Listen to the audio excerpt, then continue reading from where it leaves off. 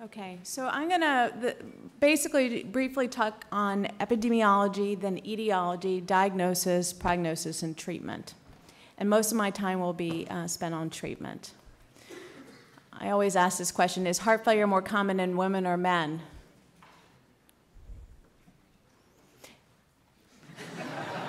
That's funny. I, I really did this for humor, so actually I think I am, uh, I find that pretty funny. So actually every year it changes um, that based on the AHA guide, the stats.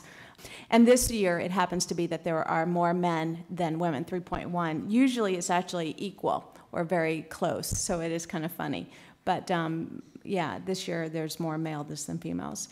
What's more important is to recognize that heart failure increases, the incidence increases with age as you can see here, basically when you go from 20 years of age to 80, there's a large difference in the number of cases. Um, so the prevalence increases for both men and for women, and that's probably the most important take home message. Etiology is the next topic. Which is the most common risk factor? Hypertension, coronary disease, valvular disease, diabetes, or alcohol?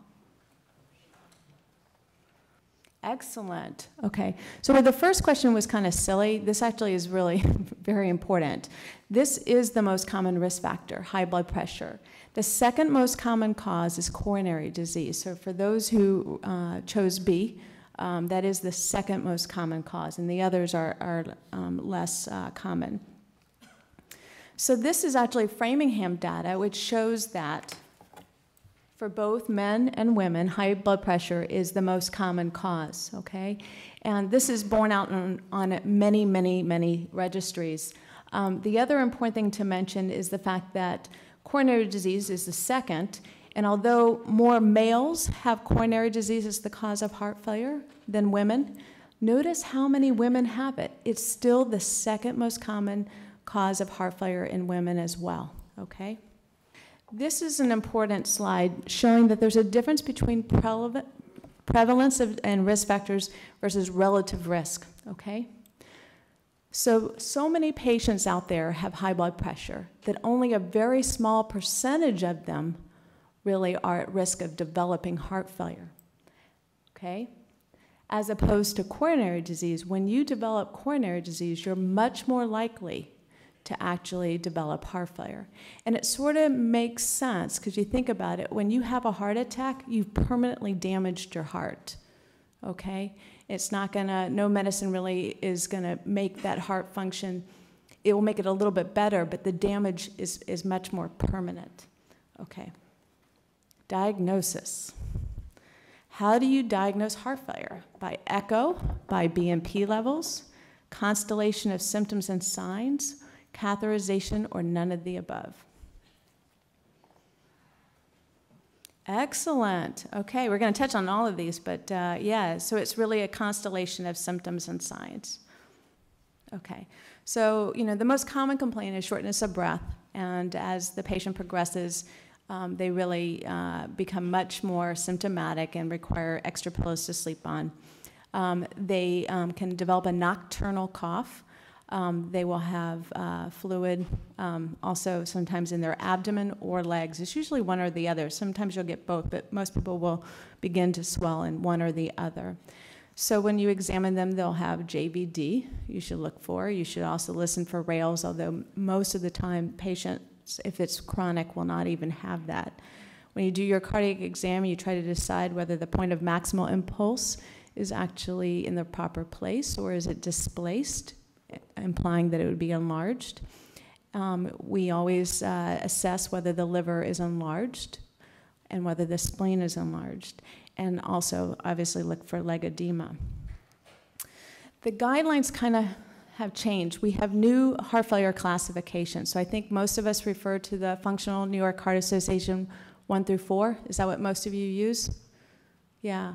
So we still use that. Um, a lot of our old studies are based on that, but we have a new staging system, A through D, and that actually is in order for us to try to prevent heart failure before we get to the symptomatic phases. So stage A is actually patients who are at high risk of developing heart failure but have no structural heart disease. So the you know two most common causes would be high blood pressure and coronary disease. So those would be those patients. Stage B is somebody who actually has structural heart disease. Okay, they have something wrong with their heart, but they're asymptomatic. That kind of sounds like functional class one, right? That's exactly what that is. Stage C refers to all the stages of symptomatic heart failure, okay? And stage D is to remind us that they're this, they've failed medical therapy. I always remember D for dead. You really are at the very end, and you have to choose advanced therapeutic options. I was going to go back to the, the things on the question about how to diagnose only because um, we do use the other testing uh, in order to kind of uh, manage the patients. So here, obviously, is a normal heart, very cartoon drawing. The second is actually with impaired systolic function, which we'll see that the wall is thin compared to here, and the cavity is bigger. Okay, so you have a bigger, baggy heart that uh, can't handle the uh, volume that it receives. In the patients that we used to refer to as diastolic, which we no longer use that term, we now call it preserved systolic function. They often will have thickened uh, myocardium, so the wall thickness is a little bit thicker than that, and the cavity size is smaller. So, first, with their very thick walls, they can't actually relax properly, um, and so it can't fill properly. And so, you basically have a small cavity and everything backs up. And then for people who use uh, BNP levels, that was another uh, question, that's really done as a screening. Um, it's not a requirement. In fact, it's not even a guideline recommended uh, therapy. It does have prognostic significance, um, and it has been used to try to distinguish between patients who have heart failure and other causes of shortness of breath, especially in the emergency room. But it is a screening test. It could be elevated in anything that causes the right side of the heart to um, be stressed by high pressures pretty much in the lung, okay, or high filling pressures on the right side. So it is a screening test. It does have survival. Um, it can prognostically uh, help define who's going to do well. And there is some evidence that women actually do um, worse with the same BNP levels uh, than men, and this was actually um, one study with survival and being a, a, specialist in women with heart failure. That's probably my only uh, heart failure in women slide. Okay, prognosis. Is heart failure the most common medical diagnosis for hospitalized patients? So I was trying to remind myself why I put this in here, and it was really because for prognosis, the question is, you know, morbidity, mortality, and um, morbidity would be hospitalizations. And so, what is the most common uh, diagnosis for a hospitalized patient? Okay, yeah.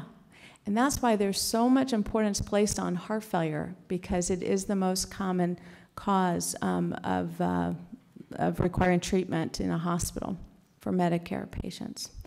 So this shows, this slide shows that for, um, for many years, actually, the, uh, there was an increase in the number of hospitalizations for heart failure. Uh, for women, this appears to be going down, but for men, uh, this is uh, still on an upward rise. And this is, again, the latest stats provided. Do women or men with heart failure live longer? Excellent. So women do live longer. There are two registries that we use for basically a lot of our data in general. One is uh, the Framingham that I think most of you are familiar with, and the other is the Olmsted County, which is the Mayo's registry. And so both uh, registries have shown that women, survival's on this axis, and women have a better survival than men. Women have a better survival than men, no matter what decade you look at. Survival is so poor that many times oncologists will kind of, you know, comment that we really are very similar. That actually the prognosis is uh, pretty bad for both uh, cancer as well as for heart failure although we hope to change that. Okay, so now we're back to treatment, and this is the most important part. So, stage A, treatment is now based on the stages, okay? So, for stage A, there are patients who are at risk but with no structural heart disease, And the guidelines recommend that we treat the underlying disease and we begin an ACE inhibitor or an ARB, okay? Risk factors include high blood pressure, atherosclerosis, diabetes, obesity, and the metabolic um, syndrome. Stage B, patients who have basically structural heart disease but no symptoms. This is your functional class one. Now you're going to add a beta blocker to the regimen. So an ACE or an ARB plus a beta blocker, okay? In very select cases, you'll use ICDs. That's going to be for patients with MIs. Um, so, you know, when we say structural heart disease, not only could there be an impairment of the systolic function, but we also include left ventricular hypertrophy as an impairment, um, as well as valvular disease. Stage C is what we usually think of when we think of heart failure, okay? These are the patients that are symptomatic with functional class two through four symptoms. Now, in addition to an ACE inhibitor and a beta blocker, we use diuretics. We do not use diuretics if they're not symptomatic, okay? Diuretics are to make you feel better and get rid of fluid, okay? The only other drug that we have out there that helps you feel better that doesn't have a survival benefit is the digitalis, okay? Aldosterone antagonists are currently, the guidelines recommend it for class three and four, okay? That will probably change over time to include uh, the uh, lower classes, but because um, there's definitely research supporting that. But at the moment, the guidelines are class three and four.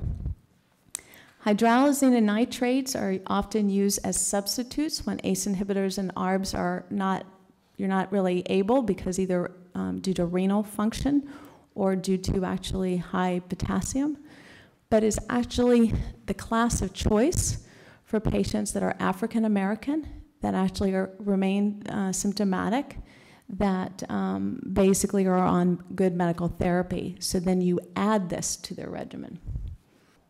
Oh, and ICDs actually are really um, patients whose EF is less than 35 percent um, should be uh, considered for a prophylactic ICD.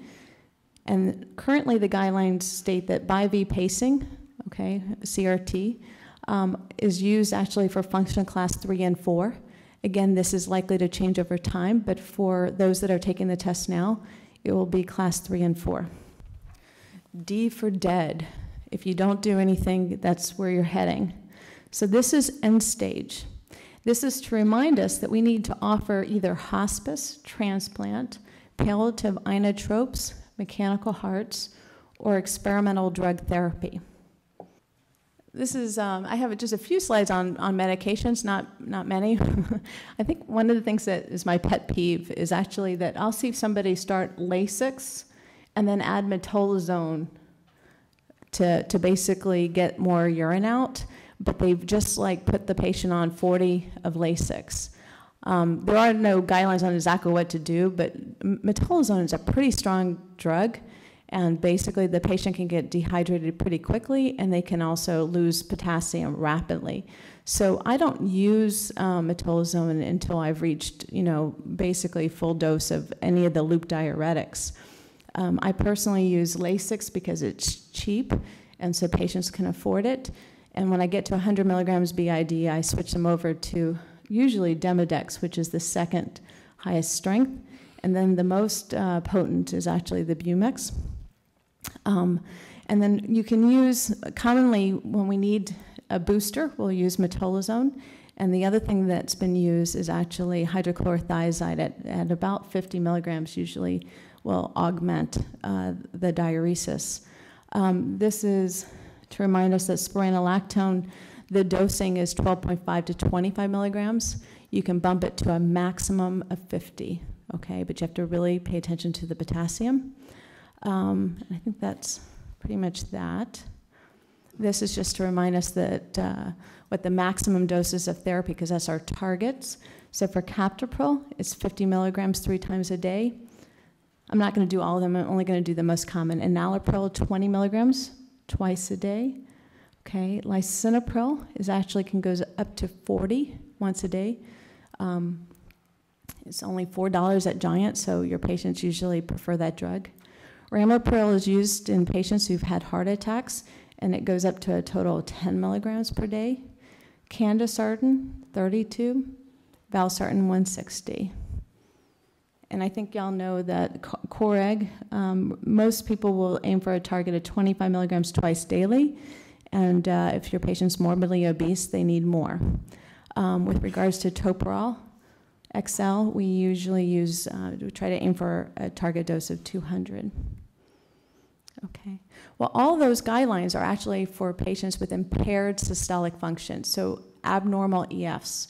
There really is very little to recommend for those that have normal LVEF, the preserved, the diastolic that we no longer, it's like bad to use the word. But we really don't have good guidelines. This is really the best we have. And basically, it says, you know, you only care about the class ones, that you should treat the underlying disease. Um, specifically, since high blood pressure is the most common, you should treat high blood pressure. You AFib with rapid ventricular rate is another common cause. So you need to get the rate under control. And the last is really use diuretics as needed. And that's it.